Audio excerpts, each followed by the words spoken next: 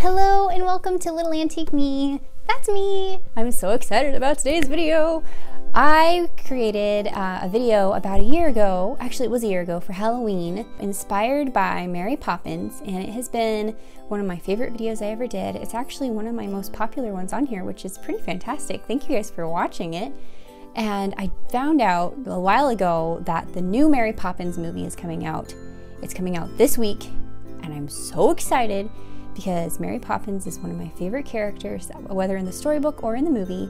Julie Andrews has always been a favorite actress of mine, and now I'm so excited about the new one. I decided to do my version of Mary Poppins Returns, and my mom gave me this book, and uh, I'm going to do a look inspired by this, plus one inside the book, which I should have up here for you. You can see her hair. Uh, I'm just, oh, I'm just so, so excited. I just love her style. I love how beautiful she looks. And I'm also very excited to see this movie.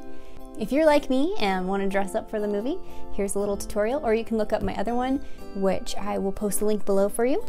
And I'm so excited. Let's get started. So I'm using day old set hair.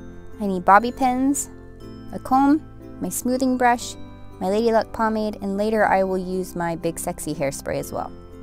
The set I did on my hair is actually the video I posted not that long ago, and I'll leave the link below for that. So first I'm going to apply the Lady Luck pomade throughout my hair to just smooth any of the flyaways and make it easier to mold and shape the way I want it to. I'm going to start by tucking this side behind my ear and just bobby pinning and covering the bobby pin with the hair behind it. And then I'm going to just start combing everything down because she had a very sleek look. I am going to go ahead and tease underneath my hair to give it that fullness and to give it something to wrap around and tuck under.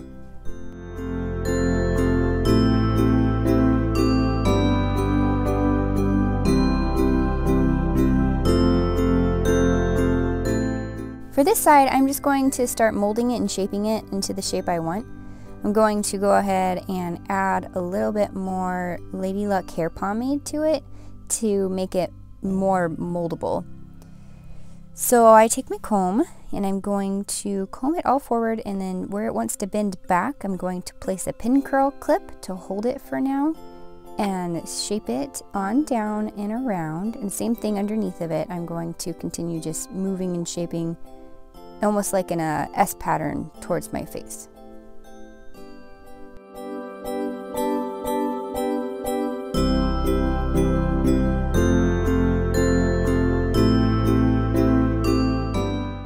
Again on the back on this side, I went ahead and back combed it as well underneath to give it fullness.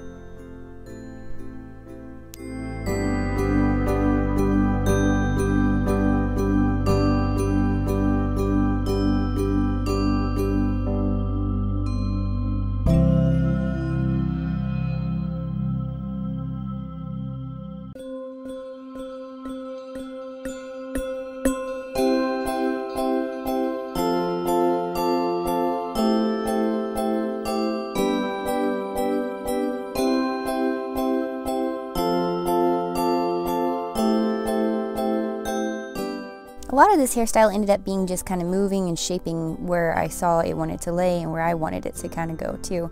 I had a little trouble with this little one in the front, so I got out my spray and play. And I'm going to spray it really well around the front edge and hopefully make this one lay down and not stick straight out from my head.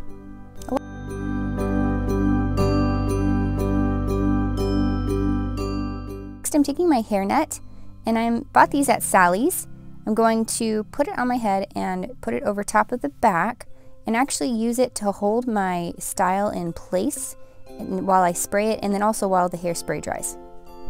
You could actually leave this in for the style. As you can see, you can't really see it. So if you wanted just to, if you were going to go out and it was windy, you could leave your hairnet in. For my cheeks, I used my Tarte blush in Party. And I went ahead and gave her Mary Poppins Rosy Cheeks.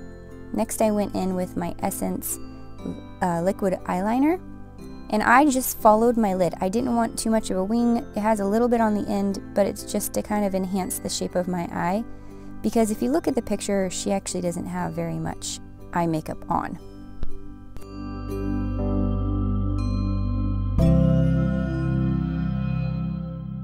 Next I'm going in with my Lash Sense by SeneGence. And this is a new lash or mascara to me. I really like it because I don't have to apply too much. It actually has something in it that'll help my lashes grow, which is even better because sometimes I need a little extra.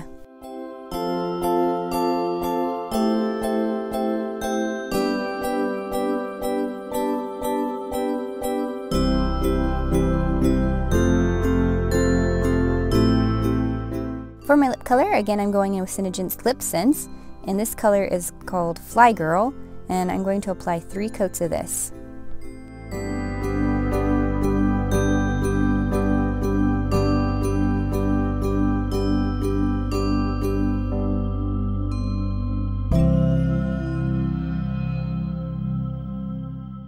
After I've let it dry, I'm going to use my Lip Sense Gloss this one's actually one of their colored glosses and I like it because it adds just a little extra color and shine. Once your hairspray is dry, go ahead and remove your hair clips and take off your hairnet or leave it on if you prefer.